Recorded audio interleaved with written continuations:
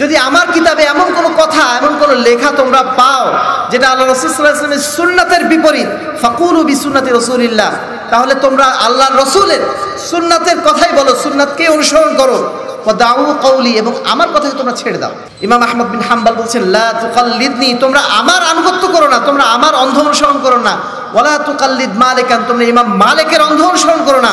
ওয়ালা সাউরি, ইমাম সাউরিকে তোমরা অন্ধ অনুসরণ করো না। ওয়ালাল আউজাই, তোমরা আউজাই অন্ধ অনুসরণ করো না অখুদ মিন হাইস আখাদু। বরং তোমরা সেখান থেকেই গ্রহণ করো, যেখান থেকে তারা গ্রহণ করেছেন। অর্থাৎ তারাও কোরআন এবং হাদিস থেকে গ্রহণ করেছেন, তোমরাও কোরআন এবং হাদিস থেকে গ্রহণ করো। সেটাই হচ্ছে তোমাদের জন্য দলিল। আমাদের কথা তোমাদের জন্য দলিল নয়। ইমাম ইবনুল জাউজি তার তালবিস ইবলিস গ্রন্থে বলছেন যে, মুসলিম উম্মার মধ্যে দুইটা রোগ ঢুকে গেল। মুসলিম উম্মার আকিদা বিশ্বাসের মধ্যে দুইটা রোগ ঢুকে গেল। সেই দুইটা রোগ কি? একটা হচ্ছে আত্মাকলিদ লিল আবাওয়াল আসলাফ বাপ দাদাদের অন্ধ অনুসরণ করা এবং পূর্ববর্তী যারা ছিলেন তাদের অন্ধ অনুসরণ করা ওয়াসানিয়াল খাউদুফি মালায়ুদ্দি গৌরাহু এবং দ্বিতীয় যে বিষয় সেটা হচ্ছে মানে খামাখা বিতর্কের মধ্যে ডুবে যাওয়া যে বিষয়ে তাদের সঠিক জ্ঞান নেই আহলেদিস আন্দোলন বাংলাদেশ আসুন পবিত্র কুরআন ও সহি হাদিসের আলোকে জীবন গড়ি আলহামদুলিল্লাহ আলহামদুলিল্লাহ রবিল আলমিন ওলা আকিবাতুল মুত্তাকিন والصلاة والسلام على أشرف الأنبياء والمرسلين نبينا محمد وعلى آله وصحبه أجمعين ومن تبعهم بإحسان إلى يوم الدين. أما بعد فأعوذ بالله من الشيطان الرجيم. بسم الله الرحمن الرحيم. فبشر عبادي الذين يستمعون القول فيتبعون أحسنه أولئك الذين هداهم الله وأولئك هم أولو الألباب.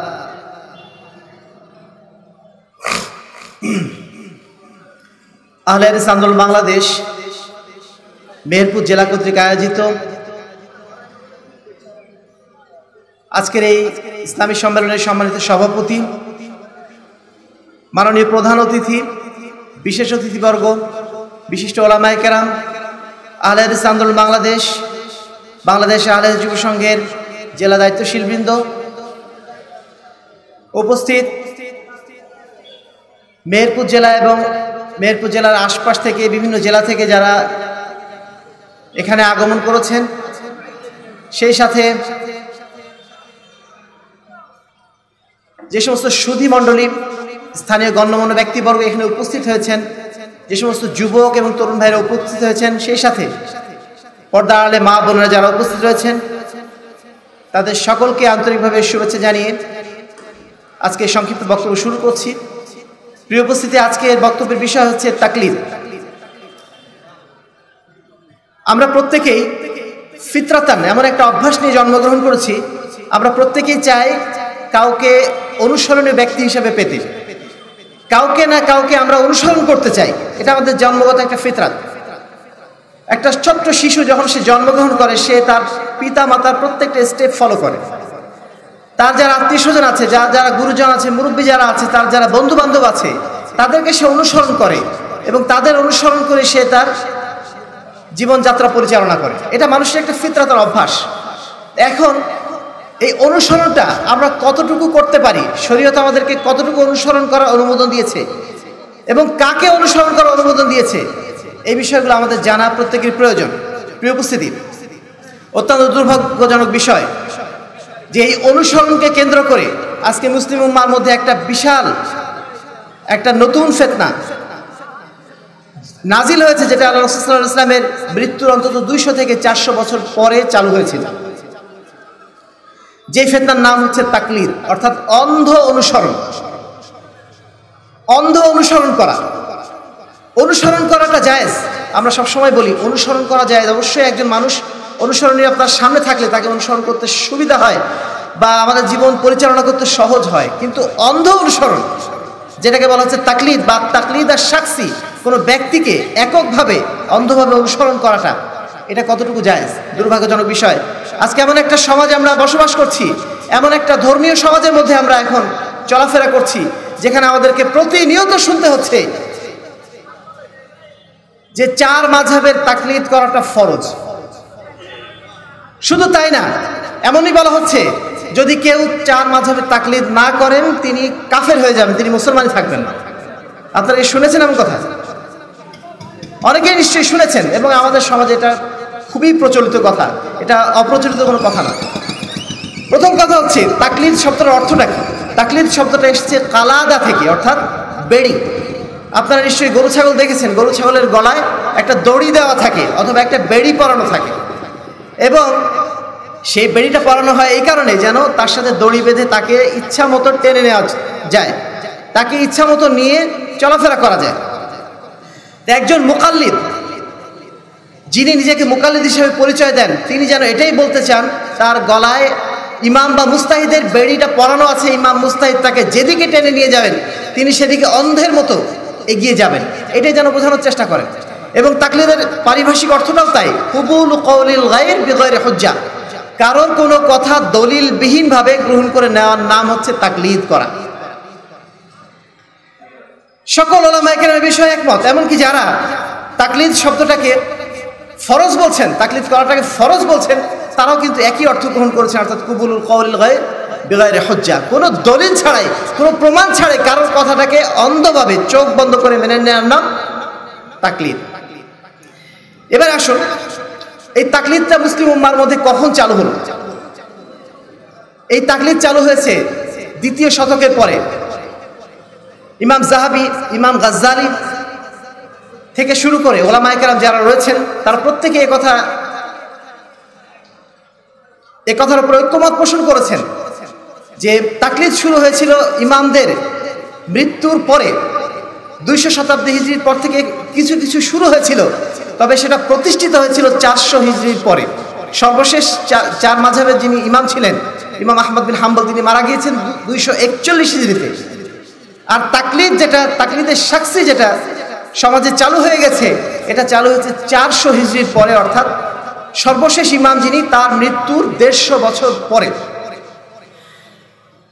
বিশেষ করে শাহরিউল্লাহ দেহলভি, তিনি তার হজ্জাতুল্লাহ বালেগার বালেগাতে স্পষ্টভাবে এ কথা আমাদেরকে উল্লেখ করে দিয়েছেন যে চারশো হিজড়ির পূর্বে মানুষ কখনোই একটি মাঝাবের উপরে সুনির্দিষ্টভাবে ফলোয়ার ছিল না। তিনি বলছেন ইয়ানা মান্নান নাস কানু কাবলাল মিয়াতি রাবিআ গায়রা মুস্তামিঈনা আলা তাকলিদিল খালিস লিমাযহাবিন ওয়াহিদিন বিআইনিহি।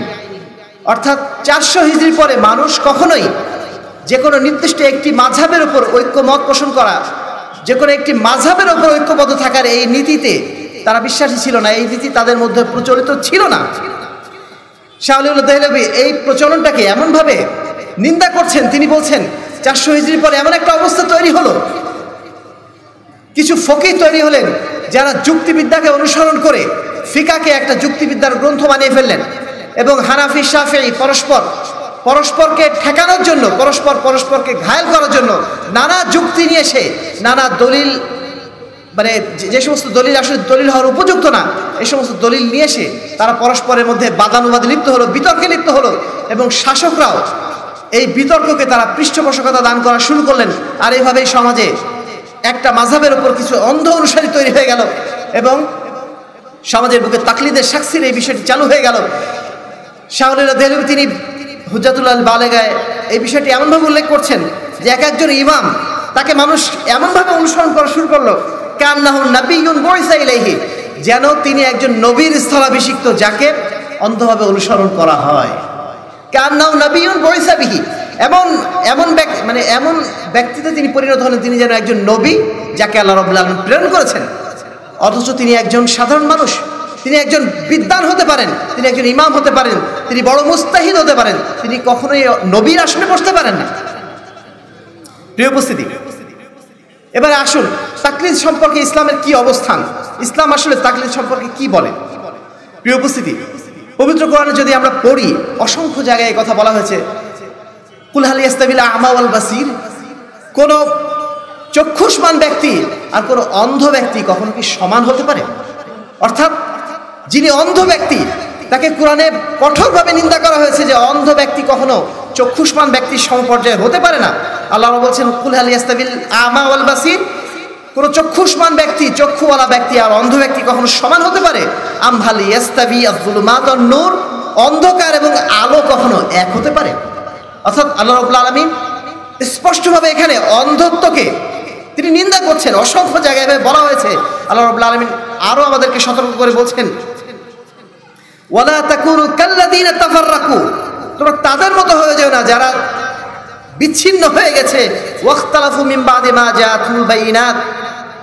এবং তাদের কাছে স্পষ্ট প্রমাণ, দলিল আসার পরেও তারা পরস্পর মতভেদের মধ্যে লিপ্ত হয়েছে। অউলাইকহম আদাবুন আদিম অউলাইক আলাহুম আদাবুন আদিম তাদের জন্য রয়েছে মহাশাস্তি মহা আদাব সূরা আলে ইমরান 105 নম্বর আয়াত। আল্লাহ রাব্বুল আলামিন ইহুদিদের সম্পর্কে বলছেন, তাদের সম্পর্কে নিন্দা করে বলছেন ইত্তাখাদু আহবারাহুম ওয়া রুহবানাহুম। আরবাবা মিন দুনিল্লাহ। ইহুদিরা, তারা তাদের পাদ্রীদেরকে, তাদের ধর্মীয় নেতাদেরকে এক একজন রব হিসাবে গ্রহণ করে নিয়েছিল আল্লাহকে বাদ দিয়ে। অর্থাৎ আল্লাহকে, আল্লাহর বিধানকে যেভাবে অনুসরণ করতে হয় নিঃশর্তভাবে ঠিক তেমনভাবে তারা তাদের যারা ধর্মীয় নেতা ছিল, যারা পুরোহিত ছিল, যারা পাত্রী ছিল, তাদেরকে নিঃশর্তভাবে এইভাবে অনুসরণ করা শুরু করে শুরু করে দিল। কোনো রকম প্রমাণ কোনো রকম দলিলা দিল্লা তারা প্রয়োজন বোধ আর করতো না। প্রিয় উপস্থিতি, আল্লাহ রবুল্লা আলম কেয়ামতের দিন ওই সমস্ত মানুষ যারা পথভ্রষ্ট হয়ে গেছে, তাদের একটি কথা এভাবে কোট করছেন, এভাবে সুরা হাজারের সাতষট্টি নম্বর আয়াতে তারা বলবে, যারা পথভ্রষ্ট হয়ে গেছিল দুনিয়াতে এবং কাল কেয়ামতের ময়দানে যারা আল্লাহ রব আলমের শাস্তির অধিকারী হয়েছে, তারা সেই দিন তাদের যারা নেতা ছিল যাদের যারা তাদের ধর্মীয় নেতা ছিল, তাদেরকে নিন্দা করে এভাবে বলবে, ইন্না সাদাতানা ওয়া কুবারানা ফাদাল্লুনা আলামিন, আমাদের তো দোষ নেই। আমরা তো কেবল আমাদের যারা নেতা ছিল, আমাদের যারা বড় বড় মানুষ ছিল, তাদেরকে আমরা অনুসরণ করেছিলাম। তারাই তো আমাদের পথ ভ্রষ্ট করে দিয়েছে। অর্থাৎ এখান থেকে স্পষ্ট যেটা বোঝা যায় যে ইসলামে কখনোই তাকলিদের মতো বিষয়টি, অর্থাৎ অন্ধ অনুসরণ বিষয়টি, কখনোই এখানে উৎসাহিত করা হয়নি, বরং নিন্দা করা হয়েছে। ইসলামে কখনোই অন্ধ অনুসরণকে অনুমোদন দেওয়া হয়নি। আল্লাহ রসুল্লাহ ইসলামের সামনে যখন পাঠ করা হলো এই আয়াতটি ইত্তাহাদু আহবার হম রুহবান আহম আর বাবা মিন্দুলিল্লাহ আদি ইবনে হাতেম, তখন ইহুদি নেতা ছিলেন। তিনি আল্লাহ রসুল্লাহ ইসলামের সামনে দাঁড়িয়ে প্রতিবাদ করে বললেন, হে আল্লাহ রসুল, আপনি এই কথা কেন বললেন? আমরা তো কখনোই আমাদের যারা ধর্মীয় নেতা, তাদেরকে আল, তাদেরকে আল্লাহকে বাদ দিয়ে তাদেরকে আমরা রব হিসেবে তো গ্রহণ করিনি। আল্লাহ রসুল্লাহ ইসলাম তখন তাদের উদ্দেশ্যে বললেন, আলাইসে হারিমুনা মা আহাল্লাহ ফাতুহারিমুনাহু, অর্থাৎ আল্লাহ রবুল্লা আলমী যা কিছু হালাল করেছেন, তারা কি সেটা হারাম করে না? আর তোমরা কি সেটা, তাদের সেই হারাম করা বিষয়টাকে অনুসরণ করো না? ওয়ুহিল্লুনা মা হারাম আল্লাহ এবং যা আল্লাহ রবুল্লা আলমী হারাম করে দিয়েছেন, তা তারা হালাল করে। ফাতুহিল্লুনাহু, এবং তোমরাও সেটাকে হালাল হিসাবে গ্রহণ করে নাও না? কলা কুলতুবালা তখন আদি ইবনে হাতেম, তিনি বলেন হ্যাঁ আল্লাহ রসুল, আমরা তো এটা করি। তখন আল্লাহ রসুল সাল্লাহ তাদেরকে বলেন ফাতিল কাইবাদাতুহুম এটাই হচ্ছে তাদের এবাদত এটাই হচ্ছে তাদের পাদ্রীদের, তাদের পুরোহিতদের, তাদের ধর্মীয় নেতাদের এবাদত করার সামিল। এবারে আসুন, যে সমস্ত ইমামদের নামে এই সমস্ত মাঝহাবগুলো চালু হয়ে গেল, যাদেরকে কেন্দ্র করে এই তাকলিদের সাক্ষীর উদ্ভব ঘটলো, তারা কি বলছেন? ইমাম আবু হানিফা, তিনি বলছেন, ইদা সহাল হাদিস মাযহাবি। জেনে রেখো, যখন কোনো হাদিস সহি হবে, জেনে রেখো, ওটাই হচ্ছে আমার মাযহাব। তিনি আরও বলছেন, হারামুন আলাম আল্লাম আরিফ দালিলি, আই ইউফতি বি কালামি ওই ব্যক্তির জন্য হারাম। যে ব্যক্তি আমার আমার কোনো কথার উপর ফতোয়া জারি করবে, অথচ সে জানবে না যে আমি কোন জায়গা থেকে দলিল গ্রহণ করেছি। অর্থাৎ আমি দলিল কোথা থেকে গ্রহণ করেছি এইটা জেনে তারপরে আমার কথার উপর সে ফতোয়া দিতে পারে তার আগে না। তিনি আরও বলছেন, লা ইয়াহিলুল ইহাদিন আই ইয়াফুল বিকাউলিনা মান মালাম ইয়ালাম মিন আইনা আখাজনাহু। ওই ব্যক্তির জন্য এই কথা এটা হালাল নয়। যে তারা আমাদের কোনো কথাকে গ্রহণ করে নিবে। অথচ তারা জানে না যে আমরা কোথা থেকে কথাটা গ্রহণ করলাম। অর্থাৎ আমরা কোরআন এবং হাদিস থেকে কথাটা বললাম কি না বললাম এটা না জেনে আমাদের কথার যেন কেউ অনুসরণ না করে, এটা তাদের জন্য হালাল নয়। এবার মালিক বলছেন ইন্নাবানা বাসারুন নিশ্চয়ই আমি একজন মানুষ। উক্তি ও উসিব, আমি অনেক সময় ভুলও করি, আবার সঠিক কথাও বলি। ফান্দুরু ফিরাই তোমরা দেখো আমার কথাটা। আমি কি কথা বলেছি সেটা পর্যবেক্ষণ করো। ফাকুল্লামা ওয়া ফাকাল কিতাব সুন্না। যদি আমার কথাটা আল্লাহর কিতাব এবং রাসুলের সুন্নাতের সাথে মিলে যায়, তাহলে সেটা তোমরা গ্রহণ করো। ফাকুলু বিহি। ওয়াকুল্লাম আলাম ইউয়াফিকুল কিতাব সুন্না। যদি আল্লাহর কিতাব এবং রাসুলের সুন্নাতের সাথে যদি আমার কথা না মিলে যায়, ফাতরুকুহু, তাহলে সেটাকে ছেড়ে দাও। ইমাম শাফি আরও স্পষ্টভাবে বলছেন, ইদা ওয়াজাত্তুম ফি কিতাবি খিলাফা সুন্নাতি রাসূল সাল্লাল্লাহু আলাইহি ওয়াসাল্লাম। যদি আমার কিতাবে এমন কোনো কথা, এমন কোনো লেখা তোমরা পাও, যেটা আল্লাহ রসুলের সুন্নাতের বিপরীত ফকুর বি সুন্নাতি রসুলিল্লাহ, তাহলে তোমরা আল্লাহ রসুলের সুন্নাতের কথাই বলো, সুন্নাতকে অনুসরণ করো। দাউ কৌলি এবং আমার কথাকে তোমরা ছেড়ে দাও। ইমাম আহমদ বিন হাম্বাল বলছেন, লা তোমরা আমার আনুগত্য করো না, তোমরা আমার অন্ধ অনুসরণ করো না। ওলা তুকাল্লিদ মালিকান, তোমরা ইমাম মালিকের অন্ধ অনুসরণ করো না। ওয়ালা সাউরি, ইমাম সাউরিকে তোমরা অন্ধ অনুসরণ করো না। ওয়ালাল আউজাই, তোমরা আউজাই অন্ধ অনুসরণ করো না। অখুদ মিন হাইস আখাদু, বরং তোমরা সেখান থেকেই গ্রহণ করো, যেখান থেকে তারা গ্রহণ করেছেন। অর্থাৎ তারাও কোরআন এবং হাদিস থেকে গ্রহণ করেছেন, তোমরাও কোরআন এবং হাদিস থেকে গ্রহণ করো। সেটাই হচ্ছে তোমাদের জন্য দলিল। আমাদের কথা তোমাদের জন্য দলিল নয়। প্রিয় উপস্থিতি, পরবর্তী বিদ্যান্তের কথাও একই রকম। ইমাম ইবনুল জাউজি তিনি বলছেন দাখালা ইবলিস আলা হাদিল উম্মা ফি আকাইদিহা মিন তারিকাতাইন। মিন তারিকাইন আহাদুমা তাকলিদ লিল আবা ওয়াল আসলাফ। ইমাম ইবনুল জাউজি তার তালবিস ইবলিস গ্রন্থে বলছেন যে, মুসলিম উম্মার মধ্যে দুইটা রোগ ঢুকে গেল। মুসলিম উম্মার আকিদা বিশ্বাসের মধ্যে দুইটা রোগ ঢুকে গেল। সেই দুইটা রোগ কি? একটা হচ্ছে আত্মাকলিদ লিল আবা ওয়াল আসলাফ। বাপ দাদাদের অন্ধ অনুসরণ করা এবং পূর্ববর্তী যারা ছিলেন, তাদের অন্ধ অনুসরণ করা। এবং দ্বিতীয় যে বিষয়, সেটা হচ্ছে মানে খামাখা বিতর্কের মধ্যে ডুবে যাওয়া, যে বিষয়ে তাদের সঠিক জ্ঞান নেই। ইমাম ইবনু তাইমে বলছেন ওয়ামা আইয়াকুল কাইলুন যদি কোনো ব্যক্তি এই কথা বলে, ইন্নাহু ইয়াজিব আলাল আম্মাতি তাকলিদু ফুলানিন আও ফুলানিন যে একজন সাধারণ ব্যক্তির জন্য অমুক ব্যক্তির তাকলিদ করা, অন্ধ অনুসরণ করাটা ওয়াজিব, যা বা আবশ্যক। মুসলিম। এটা কোনো মুসলিম কখনো বলতে পারে না। কোনো মুসলিম কখনো বলতে পারে না যে আপনার জন্য বা অমুক ব্যক্তির জন্য অমুক ব্যক্তিকে অন্ধভাবে অনুসরণ করাটা ওয়াজিব। এ কথা কোনো মুসলিম বলতে পারে না। এটা ইমাম তাইমিয়া বলছেন। ইবনে আব্দুল বার, তিনি বলছেন যে আত-তাকলিদ মানাউ ফি শারঈ, আর রুজু ইলা কওল লা হুজ্জাত লিকাইলিহি আলাইহি। তাকলিদ হচ্ছে শারী অর্থে এমন কোনো ব্যক্তির কথা গ্রহণ করা বা এমন কোনো কথা গ্রহণ করা যেই কথার পিছনে কোনো দলিল নেই। ওয়াহাদা মামনুউন মিনহু এবং এটা হচ্ছে নিষিদ্ধ ফি শারিয়া। ওয়াল ইত্তিবা মা সাবাতা আলাইহিল হুজ্জা শরীয়তে যেটা সিদ্ধ, যেটা অনুমোদিত, সেটা হচ্ছে ইত্তেবা করা, অর্থাৎ এমন বিষয় যার উপরে দলিল আছে, সেটাকে অনুসরণ করা ইসলামী শরীয়তে জায়েজ। কিন্তু যেটার পিছনে দলিল নেই, সেটাকে অন্ধভাবে অনুসরণ করা ইসলামে নিষিদ্ধ। শাহ আলিউল্লাহ মহাদ্দেস দেহলবি অত্যন্ত আক্ষেপ করে বলছেন, অত্যন্ত ভয়ের সাথে বলছেন এভাবে, ফাইন বালাগানা হাদিসুল মিন আন, আনির রাসূলিল মাসুম, আল্লাযী ফারাদাল্লাহু আলাইনা তাআতাহু বিসানাদিন সালিহিন ইয়াদুল্লু আলা খিলাফি মাযহাবিহি। অর্থাৎ যদি আমাদের কাছে আল্লাহ রসুল সাল্লাহ ইসলামের পক্ষ থেকে কোনো হাদিস পৌঁছে যায়, যে আল্লাহ রসুল সাল্লাহ ইসলাম ছিলেন মাসুম, যে আল্লাহ রসুল সাল্লাহ ইসলামের আনুগত্য করাকে আল্লাহ রবুল্লা আলমিন ফরজ করে দিয়েছেন? সেই আল্লাহ রসুলের পক্ষ থেকে যদি সহি সনদে কোনো হাদিস পৌঁছে যায়, আর সেই হাদিসটা আমার মাঝহের খেলাফ যদি হয়, আমার মাঝহের যদি বিপরীত হয় ও তারাক না হাদিসাহু, আমরা মাঝহাব অনুসরণের জন্য যদি ওই হাদিসটাকে আমরা ত্যাগ করে দেই অত্তাবা আনা দানিকা তাহমিন এবং আমরা যদি সেই ইমামের রায়টাকে যদি আমরা অনুসরণ করি ফামান আজলামু মিন্না, তাহলে আমাদের চেয়ে বড় জালিম আর কে হতে পারে? ওমা অধরুনাই ওমা ইয়াকুমুন নাস লিরাব্বিল আলামিন। আর কাল কিয়ামতের ময়দানে যখন মানুষ আল্লাহর সামনে দাঁড়াবে, তখন আমাদের ওজনটা কি হবে আল্লাহর কাছে? আল্লাহকে আমরা কি বলব? যে হে আল্লাহ, আমরা হাদিস পেয়েছিলাম, কিন্তু হাদিস মানি নাই। মানছি আমরা, আমাদের আমাদের ইমামরা, আমাদের যারা বড়রা, যে কথা বলেছিল, সেটাকে আমি অনুসরণ করেছিলাম, হাদিসকে অনুসরণ করি নাই। এই কথা কি বলতে পারব? এই কথা কি বলে আল্লাহর কাছে পার পাবো আমরা?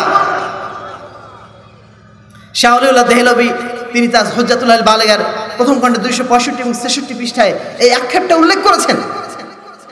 প্রিয় উপস্থিতি, আমাদের মধ্যে যারা তাকলিদের পক্ষে কথা বলেন, তারা বলেন, যদি তাকলিদ আমরা না করি, তাহলে মানুষ নাফসের পূজারী হয়ে যাবে, ইচ্ছা মতো আমল করা শুরু করে দেবে। প্রিয় উপস্থিতি, যদি তাই হতো, তাহলে যে সমস্ত ইমামদের আমরা তাকলিদ করছি তাকলিদের সাক্ষী করাটাকে ওয়াজিব বলছি, ফরজ বলছি। সেই সমস্ত ইমামরা তাহলে কেন তাদের তাকলিদ করতে বললেন না?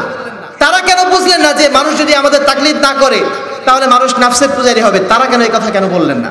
তারা যে প্রত্যেকেই নিষেধ করলেন, যাদের আমরা তাকলিদ করছি, তারাই যে নিষেধ করছেন তাকলিদ করতে, তাহলে তারা কি বুঝলেন না যে তাকলিদ যদি তাদের না করা হয়, তাহলে নাফসের পূজা হয়ে যাবে? এবার আসুন, সাধারণ মানুষের তাহলে করণে কি হবে? হ্যাঁ এই কথা অবশ্যই সবাই মনে হয় বুঝতে পারেন বা বুঝবেন যে একজন আলেমের পক্ষে শরীয়তকে অনুসরণ করাটা সহজ, যারা কোরআন এবং হাদিসের মর্মার্থ বোঝেন। কিন্তু একজন সাধারণ মানুষ যিনি কোরআন, হাদিসের মর্মার্থ বোঝেন না, অর্থ জানেন না, তার জন্য করণীয় কি? তিনি কি তাকলিদ করবেন? প্রিয় উপস্থিতি, এক্ষেত্রেও একই কথা। তাকলিদ কারোর জন্য জায়েজ নয়। অন্ধভাবে অনুসরণ করা তাদের কারোর জন্য জায়েজ নয়।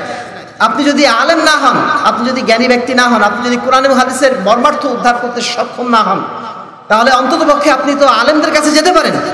আলু আহলা দিকরি কিন্তু আলমুন তোমরা আলেমদের কাছে যাও যদি তোমরা, এবং তাদেরকে জিজ্ঞাসা করো যদি তোমরা নিজেরা না জানো। একজন সাধারণ ব্যক্তির কর্তব্য হলো, সে একজন আলেমের কাছে যাবেন, যিনি দলিল সহ তাকে ফতোয়া দেবেন, দলিল সহ মাসলা দেবেন। এমন আলেমের কাছে যেন তিনি যান এবং ফতোয়া জানেন। এটা হচ্ছে তার কর্তব্য। তার পক্ষেও ওই আলেমকে অন্ধভাবে অনুসরণ করাটা জায়েজ না। আল্লাহ রব আলম বলছেন ফাস আলু আহলা দিক্রি তুমি ওই আলেমকে জিজ্ঞাসা করো। তিনি বলেননি কাল্লিদু আহলা দিক্রি ওই আলেমের অন্ধ অনুসরণ করো। আপনি অবশ্যই আলেমদের কাছে যাবেন। যারা বিজ্ঞজন, যারা জ্ঞানী ব্যক্তি, যারা আমাদের ইমাম, যারা আমাদের মুস্তাহিদ, তাদের কাছে আপনি যাবেন, তাদের শরণাপন্ন হবেন। কিন্তু অবশ্যই দলিল ভিত্তিকভাবে আপনি তাদেরকে অন্ধ অনুসরণ করার জন্য আপনাকে অনুমতি দেওয়া হয়নি। এমনকি এই আয়াতও বলা হচ্ছে ফাস আলু তোমরা জিজ্ঞাসা করো। বলা হয়নি যে, ফাকাল্লিদু তোমরা তাদের তাকলিদ করো। প্রিয় উপস্থিতি, আরও একটা মজার বিষয় বলতে হয়। যে আল্লাহ রসুল সাল্লাহ ইসলামের আনুগত্য করার জন্য পবিত্র কোরআনে বলা হয়েছে, তাই না? অমা আরসাল্লাহ আল্লাহ বলছেন অমা আরসাল্লাহ রসুলিন ইল্লা লিউতাবিজ সুরানুর চৌষট্টি নম্বর আয়াত। যে আল্লাহ রবুল্লা আলমী যে রাসুলদারি প্রেরণ করেছেন, এই জন্য প্রেরণ করেছেন যেন তাকে অনুসরণ করা হয় বিইজনি আল্লাহ আল্লাহ রবুল্লা আলমিনের নির্দেশে অর্থাৎ আমরা যে রাসুলের আনুগত্য করব। আমাদের নবী মোহাম্মদ সাল্লাহ ইসলামের আনুগত্য করব। এই আনুগত্যটা কেন করব আল্লাহ রবুল্লা আলমিন আমাদেরকে নির্দেশ দিয়েছেন তাই যদি আল্লাহ রবুল্লা আলমিন আমাদেরকে নির্দেশ না দিতেন, তাহলে আল্লাহ রসুলের আনুগত্য করাটা আমাদের জন্য জায়েজ হতো না আল্লাহ রবুল্লা আলমিন আমাদেরকে নির্দেশ দিয়েছেন বলেই তার আনুগত্য করছি এখন যদি আমরা বলি যে সমস্ত আল্লাহ রসুলাম বাদ দিয়ে পৃথিবীতে আজ যারা রয়েছেন, যত বড় ইমাম তারা হন না কেন, যত বড় জ্ঞানী ব্যক্তি হন না কেন, তাদের পক্ষে আল্লাহর পক্ষ থেকে কোনো হজ্জাত কি নাজিল হয়েছে যে এই ব্যক্তির অনুসরণ করলে তোমরা সরল সঠিক পথ পাবে? এটাকে আল্লাহর পক্ষ থেকে নাজিল হয়েছে? কারোর পক্ষে হয় নাই? তাহলে আপনি কাউকে অন্ধভাবে অনুসরণ করবেন কীভাবে? স্বয়ং আল্লাহ রসুল্লাহ ইসলামকে যখন আল্লাহ রবুল্লা আলমিনের বিনা অনুমতিতে ও আনুগত্য করার জন্য অনুমতি দেওয়া হয়নি, তাহলে একজন সাধারণ মানুষ, তিনি যিনি নবী নন, তাকে অনুসরণ করার ক্ষেত্রে আপনি কীভাবে বলতে পারেন যে তাকে অনুসরণ করাটা ওয়াজিব? প্রিয় উপস্থিতি, ইসলামে সবসময় দলিলকে অনুসরণ করার জন্য উদ্বুদ্ধ করা হয়েছে। পবিত্র কোরআনে আল্লাহ রব্লান বলছেন, কুল হাদি সাবিলি আল্লাহ আলা বাসিরাতিন। হে মোহাম্মদ সাল্লাহ আপনি মানুষকে বলে দিন এটাই আমার পথ। আদৌ আল্লাহ আমি আল্লাহর পথে ডাকি? আলা বাসিরাতিন, জাগ্রত জ্ঞান সহকারী, দলিল সহকারী। এমনিতেই না। নিজের পক্ষ থেকে কোনো মতবাদ আমি পেশ করি না। নিজের পক্ষ থেকে কোনো কথা আমি পেশ করি না, কোনো রায় আমি পেশ করি না। আমি যা পেশ করি, দলিল ভিত্তিক আল্লাহ রবুল্লা আলমিন আমাদের, আমার উপর যা নাজিল করেছেন তাই আমি তোমাদের কাছে উপস্থাপন করছি। আল্লাহ বলছেন, কুল হা তু কুল হা হাতু বুরহানাকুম ইনকুন্তুম সদেকিন। তোমরা দলিল নিয়ে আসো, তোমরা দলিল নিয়ে আসো যদি তোমরা তোমাদের দাবিতে সত্যবাদী হয়ে থাকো। আল্লাহ বলছেন, ইয়া ইহদিন আমানু, হে ইমানদারগণ আতি আল্লাহ আতি রসুল, তোমরা আল্লাহর আনুগত্য করো এবং তার রসুলের আনুগত্য করো। ও উলিল আমরি মিনকুম, এবং তোমাদের মধ্যে যারা নেতৃস্থানীয় ব্যক্তি রয়েছে, যারা ইমাম রয়েছেন, যারা আলেম রয়েছেন, তাদেরও তোমরা আনুগত্য করো। তবে কতক্ষণ? ফাইন তারা তুলফি সেই যখন তাদের মধ্যে কোনো বিষয়ে মতভেদ তৈরি হবে যদি আলেমদের মধ্যে মতভেদ তৈরি হয়, তাহলে নির্দেশটা কি আল্লাহ বলছেন ফারুদ্দু হইল আল্লাহ রসুল তাহলে তোমরা আল্লাহ এবং তার রাসুলের দিকে ফিরে যাও। অর্থাৎ আল্লাহর কিতাব এবং রাসুলের সুন্নাতের দিকে ফিরে যাও। এটা বলা হয়নি যে তোমরা ওই ইমামের বা ওই আলেমের তোমরা অন্ধভাবে আনুগত্য করো। যদি দেখা যায় আলেমদের মধ্যে কোনো বিষয়ে মতভেদ হয়ে গেছে, তোমরা কোরআন এবং সহিদিসে যেটা বলছে সেই দিকে ফিরে যাও। আলেমের দিকে ফিরতে হবে না। এই নির্দেশনা আল্লাহ রবুল্লা আলম আমাদেরকে দেন নাই। সুরা জুমারের আঠারো নম্বর আয়তে আল্লাহ বলছেন হবাশির ইবাদ, ওই সমস্ত বান্দাদেরকে তুমি সুসংবাদ দিয়ে দাও। আল্লাহ দিন ইসলামী আল কৌল যারা মনোযোগ সহকারে কথা শুনে। আহসানাহু, অতঃপর সবচেয়ে যেটা সুন্দর, সবচেয়ে যেটা সঠিক, সেটাকে তারা অনুসরণ করে। উলাইকা আল্লাদি আল্লাদিন হাদাহুমুল্লাহ, তারাই হচ্ছে তারা, যাদেরকে আল্লাহ রাব্বুল আলামিন হেদায়েত দান করেছেন, সুপথ দান করেছেন। অউলাইকা হুমুলুল আলবাব, আর তারাই হচ্ছেন প্রকৃত অর্থে জ্ঞানী। তাহলে আল্লাহ রাব্বুল আলামিন এই আয়াতে কাদেরকে হেদায়েত প্রাপ্ত বলছেন? কাদেরকে জ্ঞানী বলছেন? কাদেরকে বুদ্ধিমান বলছেন? ওই সমস্ত ব্যক্তিদেরকে যারা মানুষের কথা শোনে। ইমামদের কথা আমরা শুনছি, আলেমদের কথা অবশ্যই শুনব। শুনে মনোযোগ দিয়ে শোনার পরে যেটা আমি দেখব কোরআন এবং সৈয়াদিসের অনুকূলে, যার পক্ষে দলিল আছে, সেটাকে আমি গ্রহণ করব। যদি আমি এটা করতে পারি, তাহলে আল্লাহ রব আলম প্রশংসা করছেন এভাবে যে এরাই হচ্ছে প্রকৃত অর্থে হেদায়তপ্রাপ্ত আর এদের, এরাই হচ্ছে প্রকৃত অর্থে জ্ঞানী, বিজ্ঞ ব্যক্তি। ইবনু তাইমিয়া, তিনি বলছেন, মান ফারাকাত দালিল সাবিল, যে ব্যক্তির কাছে দলিল নেই, সে নিঃসন্দেহে পদভ্রষ্ট হয়ে যাবে। ওয়ালা দালিল ইল্লা মা জাবির রসুল। আর রাসুল সাল্লাহ ইসলাম যা নিয়ে এসেছেন, অর্থাৎ কোরআন এবং হাদিস বাদ দিয়ে অন্য কিছু আমাদের জন্য দলিল হতে পারে না। দলিল একমাত্র কোরআন, হাদিস। এটা বাদ দিয়ে আর কোনো বিষয়ে আমাদেরকে বলা যাবে না যে অমুক আলেম এই কথা বলেছেন। অমুক আলেম কখনো আমাদের জন্য দলিল হতে পারে না। অমুক মাঝাব আমাদের জন্য কোনো দলিল হতে পারে না। অমুক তরিকা আমাদের জন্য দলিল হতে পারে না।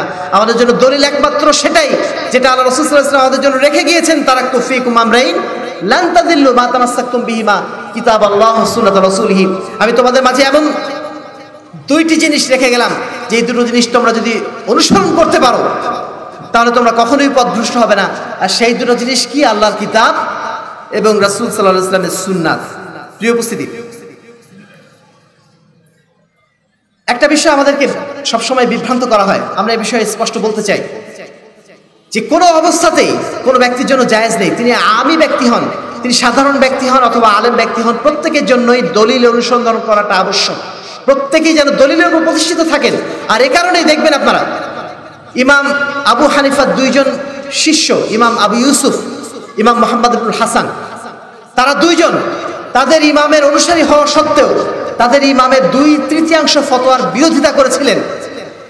ইমাম ইমামুল হারামাইন জুয়াইনি, তিনি বলছেন ইস্তান কাফা মোহাম্মদ আবুল হাসান ওয়াবি ইউসুফ আন মুতাবাতিহি ফি সুলুসাই মাযহাবিহি ওয়া ওয়াফাকা আশ-শাফিঈ ফি আকসারিল মাসাইল। তিনি বলছেন যে ইমাম আবু হানিফার দুই শিষ্য, মোহাম্মদ হাসান এবং আবু ইউসুফ, আবু আবু হানিফার মাঝহাবের দুই তৃতীয়াংশ মাসাইলের তারা বিরোধিতা করেছিলেন বা বিপরীত মত প্রকাশ করেছিলেন এবং তারা ইমাম শাফির অনুসরণ করেছিলেন অধিকাংশ মাসলার ক্ষেত্রে। কেন করেছিলেন? কেন তারা তারা দলিলের অনুসরণ করেছিলেন? ইমাম আবু হানিফা তারা অনুসারী বটে, কিন্তু তারা দলিলের অনুসারে অনুসরণ করেছিলেন বটে বলেই যেই সমস্ত মাসলাতে তারা দলিল খুঁজে পাননি, সেই সমস্ত মাসলাতে তারা ইমাম আবু হানিফারও তারা বর্জন করেছেন, তা ইমাম আবু হানিফার ফতোয়াকেও তারা বর্জন করেছেন। প্রিয় উপস্থিতি, ইমাম ইবনুল হাজম তিনি বলছেন, ওয়াল আমি ওয়াল আলেম ফি যালিকা সাওয়া। দলিল খোঁজার ক্ষেত্রে একজন সাধারণ ব্যক্তি এবং আলেম দুজনই সমান। ওয়ালা কুল্লি আহাদিন হাদ্দুহু আল্লাযী ইয়াকদিরু আলাইহি মিনাল ইস্তিহাদ। প্রত্যেকের জন্যই কর্তব্য হলো তার সাধ্যের জায়গা থেকে যতটুকু সম্ভব ইস্তিহাদ করে নেওয়া, যতটুকু সম্ভব চেষ্টা চালানো, সঠিক পথটা খুঁজে বের করা। এখন একজন আপনি বললেন যে আলেম ব্যক্তির পক্ষে তো দলিল খুঁজে পাওয়া সহজ, কিন্তু একজন সাধারণ ব্যক্তি তার পক্ষে তো দলিল খুঁজে পাওয়া সম্ভব নয়। সে তার জন্য তাকলিদ করা ওয়াজিব বা জায়েজ, আপনি কথা বললেন। এখন আমি যদি প্রশ্ন করি আপনাকে ওই ব্যক্তিটা কার অনুসরণ করবে অন্ধ অনুসরণ? যে ব্যক্তিকে আমি বলছি যে আপনি একজন সাধারণ ব্যক্তি, আপনি আলেম না, আপনি কার অনুসরণ করবেন? যদি আপনাকে বলা হয় নির্ধারণ করতে, আপনি কার অনুসরণ করতে বলবেন? আপনি বলবেন ইমাম আবু হানিফা অনুসরণ করতে, নাকি ইমাম আহমদ বিন হাম্বাল অনুসরণ করতে, নাকি কার অনুসরণ করতে বলবেন? তাকে কার উপর ছেড়ে দেবেন? আপনি, আমি আমি যদি আপনাকে ছেড়ে দেই, আপনি পথই খুঁজে পাবেন না, কাকে অনুসরণ করতে বলবেন? হয়তো আপনি আজকে ইমাম আবু হানিফাকে চেনেন, ইমাম আহমদ বিন হাম্বলকে চেনেন, আপনি বলেন যে আপনি তাদের অনুসরণ করেন। কিন্তু যিনি অন্য পরিবেশে আছেন, ধরেন কাদের মধ্যে আছেন, যিনি আছেন শিয়াদের মধ্যে, অথবা অন্য কোনো বাতিল ফেরকার মধ্যে পড়ে আছেন, আপনি তাকে কি বলবেন? তাকেও কি বলবেন, তুমি তোমার যারা নেতা আছেন, তোমার সমাজে যারা লিডার আছেন, তাদের তোমরা অনুসরণ করো? এই কথাকে আমরা বলব? ধরেন একজন শিয়া সমাজে একজন ব্যক্তি আছেন যিনি কোরআন এবং হাদিস অনুসরণ করতে চান, আমরা কি বলব? আপনি ওই শিয়া সমাজে, আপনাদের সমাজে সবচেয়ে বড় যে আলেম, সবচেয়ে বড় শিয়া আলেম, সেই আলেম অনুসরণ করেন অন্ধভাবে। আমরা কি এই কথা তাকে বলব? যদি আমরা ওই কথা ওইখানে না বলি, তাহলে আমরা এইখানে এই কথা কীভাবে বলছি? প্রিয় উপস্থিতি, অতএব প্রত্যেকের জন্য দলিলের অনুসরণ করাটা এটা ফরজ, এটা আবশ্যক কর্তব্য। এবারে আসুন, আমরা আলোচনা প্রায় শেষের দিকে চলে এসেছি। আমরা নিজেদেরকে আহলুল হাদিস বলি আহলুল সুন্নাত বলি, আহলুল আসার বলি। কেন বলি? কেন আমরা নিজেদের আহলুল হাদিস বলি? কেন আহলুল আসার বলছি? প্রত্যেকটা নামের পিছনে একটা বড় ইতিহাস রয়েছে, বড় সংগ্রামের ইতিহাস রয়েছে, বড় জিহাদের ইতিহাস রয়েছে। আমরা আজকে খুব সহজেই বলে ফেলি, আমরা আহলে হাদিস না, আমরা আহলে হাদিসের সব গ্রুপিং গ্রুপিং এর মধ্যে নাই, আমরা সবাই মুসলিম। আমরা জানি না, এই ইতিহাসটা আমাদের জানাই নেই যে কি কারণে আমরা নিজেদেরকে আহলে হাদিস বলি। প্রিয় উপস্থিতি একটা সময় তৈরি হয়েছিল দুইশো খ্রিস্টাব্দের দুইশো হিজড়ির পরে, যখন মানুষ মানুষের রায়ের অনুসরণ করা শুরু করেছিল, হাদিসকে বাদ দিয়ে তারা যুক্তির অনুসরণ করা শুরু করেছিল, আর তখনই সহি হাদিসের পক্ষে যে আন্দোলন শুরু হয়েছিল, কোরআন এবং সহি হাদিসকে নিঃশর্তভাবে অনুসরণ করার জন্য যে আন্দোলন তৈরি হয়েছিল, সে আন্দোলনের নামই দেওয়া হয়েছিল আহলুস সুন্না ওল জামা আহলুল হাদিস বা আহলুল আসাদ এই সমস্ত নামের পিছনে এক একটা প্রেক্ষাপট রয়েছে। আর আপনি পাগলের মতো আজকে চোদ্দশো বছরের পরে এসে উড়িয়ে দিচ্ছেন, বলছেন যে আমি শুধু মুসলিম। এই সমস্ত অন্ধ পাগলামির থেকে আমাদেরকে অবশ্যই বিরত থাকার চেষ্টা করতে হবে। প্রিয় উপস্থিতি, আমরা পরিষ্কারভাবে আজকে বলতে চাই, অনেকেই আমরা আমাদেরকে মনে করেন, আমাদেরকে বলে থাকেন যে আমরা লা মাঝহাবি আমাদেরকে লা মাঝহাবি বলা হয় কিনা? বলা হয় না? আমরা কি লা মাঝহাবি আমাদের অবশ্যই মাঝহাব রয়েছে, আমাদের মাঝহাব হচ্ছে মাঝহাবুর রসুল। হ্যাঁ প্রচলিত মাঝহাবগুলোকে আমরা অন্ধভাবে অনুসরণ করি না। কিন্তু প্রচলিত মাঝহাবকে আমরা কখনো বাতিল বলে ঘোষণা করি না। চার মাঝহাব কখনো বাতিল আমরা বলি না এই কথা। তার কারণ চার মাঝহাব বাদ দিয়ে আপনি ইসলামী শরীয়তে খুঁজে পাবেন না। চার মাঝহাব বাদ দিয়ে আপনি ইসলামী শরীয়ত খুঁজে পাবেন না। ইসলামী শরীয়ত চার মাঝহাবের মধ্যেই রয়েছে। কিন্তু অবশ্যই আমরা যেটা বলি যে চার মাঝহাবের যে কোনো একটি মাঝহাবের মধ্যে হক সীমাবদ্ধ নয়। কোরআন এবং হাদিস কেবলমাত্র একটা মাঝহাবের মধ্যে সীমাবদ্ধ নয়। কোরআন এবং হাদিস চারটা মাঝহাবের মধ্যে রয়েছে এবং চার মাঝহাবের কিছু ফতোয়া রয়েছে ভুল। সমস্ত ফতোয়া সঠিক নয়, কিছু ফতোয়া রয়েছে ভুল। আমরা শুধুমাত্র ভুলটাকে অনুসরণ করি না, যে মাঝাবে যে ফতোয়াটা কোরআন এবং হাদিসের অনুযায়ী রয়েছে, সেই ফতোয়াটাকে আমরা নিঃশর্তভাবে গ্রহণ করি। সেখানে আমরা কখনোই এই কথা বলি না যে অমুক মাঝহাবে রয়েছে, আমরা অনুসরণ করব না। প্রিয় উপস্থিতি, আজকে আমরা অনেকেই হয়তো বলি যে আমাদের সমাজে আমাদের সমাজে একটা মাঝাব চালু রয়েছে, আপনারা কেন নতুন একটা ফেতনা এসে জারি করতে গেলেন? কি দরকার? একটা মাঝাব চালু আছে, ওই মাঝাব অনুসরণ করলে ক্ষতিটা কি? প্রিয় উপস্থিতি আমরা কখনোই এ বিষয়ে কথা বলতাম না। যদি আল্লাহ রব্লা আলমিনের পক্ষ থেকে এই হুঁশিয়ারি বাণী না থাকতো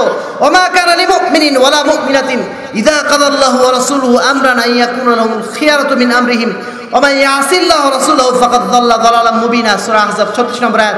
তিনি আল্লাহ বলছেন, একজন মুমিন এবং একজন মুমিনার জন্য কখনোই এটা জায়েজ নয় ইদা কাদাল্লাহ রসুলহু, যখন আল্লাহ এবং তার রসুলের পক্ষ থেকে কোনো ফয়সলা চলে আসবে তারা সেখানে নিজস্ব কোনো মতামত পেশ করবে যে এই মতটা আমি গ্রহণ করলাম বা করলাম না। অমাই আসিল্লাহ রসুল্লাহ নিশ্চয়ই যে ব্যক্তি আল্লাহকে, আল্লাহর অবাধ্যতা করল, তার রসুলের অবাধ্যতা করল, ফাকাদ দল্লা দলালা মুবিনা, সে স্পষ্ট পদভ্রষ্টতার মধ্যে নিমজ্জিত হলো। আমরা যদি আমাদের আমল বাতিল না হওয়ার আশঙ্কা করতাম, তাহলে আমরা কখনোই সমাজে প্রচলিত মাঝহাবের বিরুদ্ধে কথা বলতাম না। মাঝহাবি কোনো মাসলা যেটা কোরআন এবং হাদিসের বিরুদ্ধে রয়েছে, সেটার বিরুদ্ধে আমরা কখনোই কথা বলতাম না। যদি না আল্লাহ রব্লা আলমিন এভাবে আমাদেরকে হুঁশিয়ারি দিতেন ইয়াই হলাদিন আমানু আতিউল্লাহ আতিউর রসুল, হে ইমানদারগণ তোমরা আল্লাহর আনুগত্য করো, তোমরা রাসুলের আনুগত্য করো ওলা তুবতিল আমালাকুম। আল্লাহ এবং তার রাসুলের আনুগত্য বাদ দিয়ে অন্য কারও আনুগত্য করে তোমরা তোমাদের আমলকে বাতিল করে দিও না।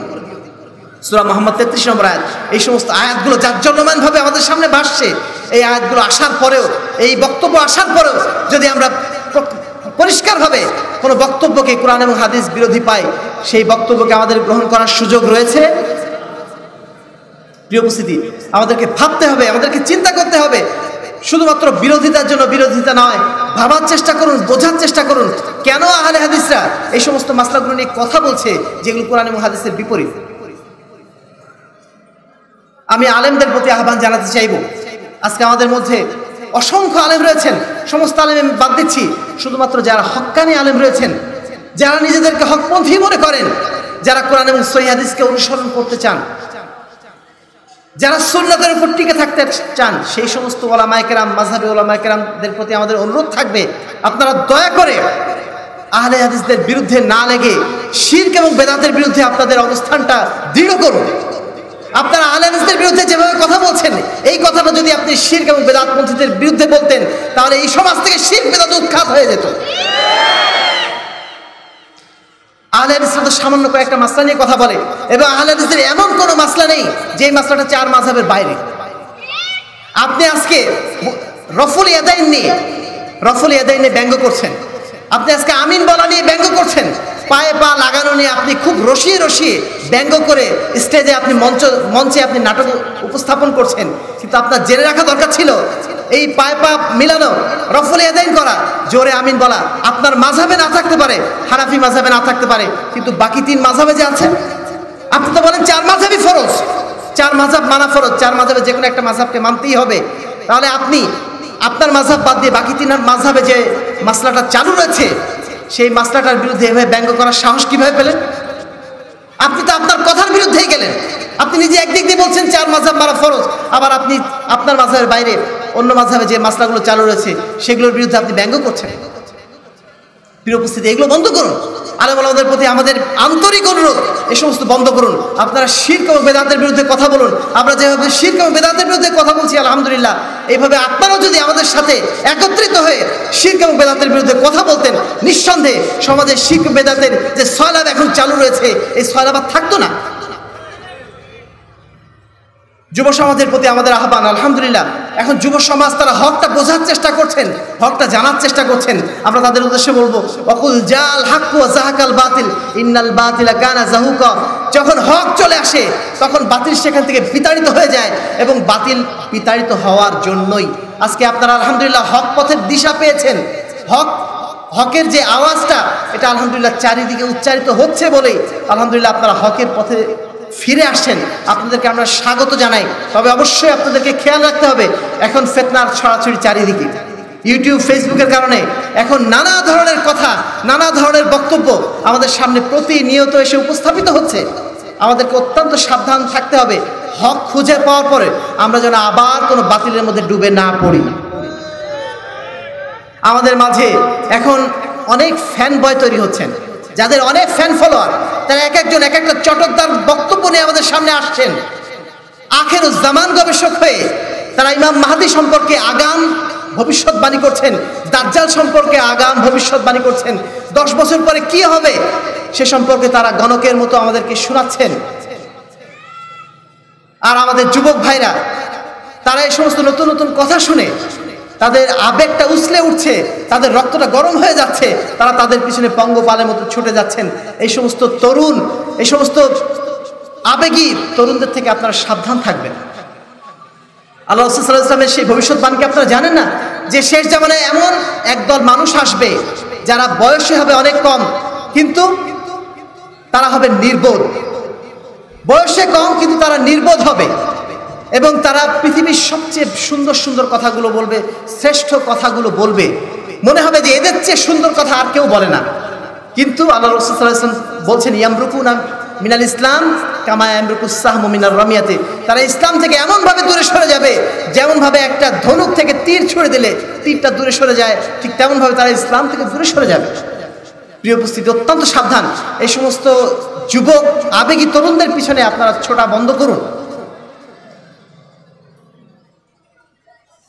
সাধারণ মানুষ যারা রয়েছেন, এদেশের সমস্ত সাধারণ মানুষের কাছে আমাদের বিনীত অ্যাপিল, আসুন, পবিত্র কোরআন সৈয়াদিসের আলোকে জীবন গড়ি। সকল বিধান বাতিল করুন ওহির বিধান কায়েম করুন। একমাত্র পবিত্র কোরআন এবং সহি হাদিসই আমাদের জন্য দলিল। কোরআন এবং সহি হাদিস বাদ দিয়ে আমাদের সামনে আর দ্বিতীয় কোনো দলিল যদি আসে, সেটা অবশ্যই আমাদের জন্য গ্রহণযোগ্য নয়, এটা আমাদের জন্য গ্রহণ করা ওয়াজিব নয়, যেটা আমাদেরকে শোনানো হচ্ছে তাকলিদের নাম করে। আর মনে রাখবেন এই পৃথিবীতে যারা পবিত্র কোরআন এবং সৈয়াদিসের একমাত্র নিঃশর্ত অনুসারী, তারাই হচ্ছে আহলুল হাদিস। এতে কোনো সন্দেহের অবকাশ নেই। আল্লাহ রসুল সাল্লাহ ইসলাম আমাদেরকে বহু আগেই ভবিষ্যৎবাণী দিয়ে গেছেন মিন উম্মতি। আমার উম্মতের মধ্যে একটা দল অবশ্যই থাকবে, যারা চিরকাল বিজয়ী থাকবে। লা ইয়াদুররুহুম মান খাদালাহুম। তাদেরকে যারা পরিত্যাগ করবে, তারা তাদের কোনোই ক্ষতি করতে পারবে না। হাত্তা ইয়াতি আমরুল্লাহ ওহুম কাদালিক এমনভাবে কেয়ামত চলে আসবে। কিন্তু তারা হকের ওপরেই সুপ্রতিষ্ঠিত থাকবে। আর সেই দলটি সম্পর্কে সমস্ত আইম্মায়ে কেরাম তারা বলছেন ইমলাম ইয়াকুনু আহলাল হাদিস ফালা আদরি মানহুম তারা যদি আহলে হাদিসরা না হয়, তাহলে আমরা জানি না তারা কারা। খ্যাতনামা তাবি আব্দুল্লাহ ইবনে মুবারক বলছেন, হুম ইনদি আসহাবুল হাদিস। এই হাদিসের ব্যাখ্যায় বলছেন, হুম ইনদি আসহাবুল হাদিস। তারা হচ্ছে আসহাবুল হাদিস বা আহলুল হাদিস। ফকরা আসবাতুল নাস আলা সিরাত আসহাবুল হাদিস সিরাতুল মুস্তাকিমে সবচেয়ে সুদৃঢ়ভাবে প্রতিষ্ঠিত দল যদি থেকে থাকে, তারাই হচ্ছে আহলুল হাদিস। বলুন, আলহামদুলিল্লাহ। আর এটা হয়েছে এই কারণেই যে আমরা কোরআন এবং হাদিসকে নিঃশব্দভাবে অনুসরণ করি, আমরা কাউকে অন্ধভাবে অনুসরণ করি না। যারা নতুন আহলানিস ভাই রয়েছেন, তাদেরকে আরও একবার সতর্ক করে দিতে চাচ্ছি। আমরা যেন তাকলিদের এই বন্ধন ছিন্ন করে এসে আবার নতুন করে অন্য কোনো তাকলিদের মধ্যে যেন না পড়ে পড়ে যায়। আমরা অনেক সময় ব্যক্তি পূজায় পড়ে যাচ্ছি, অনেক সময় আমরা শায়েক পূজার মধ্যে ডুবে যাচ্ছি। আধুনিক যুগে আমরা একটা বড় সমস্যায় পড়ে গিয়েছি। যদি কোনো ব্যক্তি, কোনো আলেমের দ্বারা হেদায়ত হয়ে থাকেন, ব্যাস, ওই আলেমকে তিনি একদম সত্য মিথ্যার মাপকাঠি মনে করে নেন। তিনি যেটা বলছেন শতভাগ সত্য মনে করে নেন। প্রিয় উপস্থিতি, প্রত্যেক আলেম অবশ্যই আমরা মনে করি যে আলহামদুলিল্লাহ তারা হক পন্থায় চলার চেষ্টা করছেন। কিন্তু তারা তো মানুষ, তাই না? তাদেরও তো ভুল হতে পারে। যদি সেই যুগে ভুল হয়ে থাকে, আল্লাহ রসুলামের যুগে, তাদের সাহাবিদের যদি ভুল হয়ে থাকে, আমরা চোদ্দশো বছর পরে এসেছি, আমাদের কি বিবেক বিবেচনায় আমাদের বোঝায় ভুল হতে পারে না? অবশ্যই ভুল হতে পারে। অবশ্যই আপনারা চেষ্টা করবেন সঠিকটা অনুসরণ করতে সর্বদা, এবং ভুল যদি হয়ে থাকে, এবং সেই সেই ভুলটা যদি আমার সবচেয়ে প্রিয় একজন শায়েখের কাছ থেকে আসে, সেই ভুলটাকে আপনার কখনোই গ্রহণ করব না। এটাই হচ্ছে আমাদের মূলনীতি, এটাই হচ্ছে আহলে মূলনীতি। তারা সর্বদা কোরআন এবং হাদিসের উপর টিকে থাকবে, এটাই তাদের মূলনীতি। প্রিয় উপস্থিতি, পরিশেষে যে কথাটি বলতে চাইব, যে আমাদের সকলকেই পবিত্র কোরআন এবং সহি হাদিসের এই স্বচ্ছ, এই সরল দিনের উপর সুপ্রতিষ্ঠিত থাকবে, থাকতে হবে। তাহলে আমরা সিরাতুল মুস্তাকিমের উপর টিকে থাকতে পারব ইনশাআল্লাহ। আল্লাহ রবুল্লা আলমিন আমাদের সকলকে আমাদের জীবনের শেষ দিন পর্যন্ত পবিত্র কোরআন এবং সহি হাদিসের ওপর টিকে থাকার তৌফিক দান করুন এবং যাবতীয় প্রকার অন্ধ অনুসরণ থেকে আল্লাহ রবুল্লা আলমিন আমাদেরকে হেফাজত করুন। আল্লাহ রবুল্লা আলমিন আমাদেরকে কাল কিয়ামতের ময়দানে তার প্রিয় পাত্র বান্দাদের মধ্যে অন্তর্ভুক্ত করে নিন। আমিন। ওয়াখির দাওয়ানা আনিল হামদুলিল্লাহ রবিল আলমিন। আসসালামু আলাইকুম ওরহমতুল্লাহি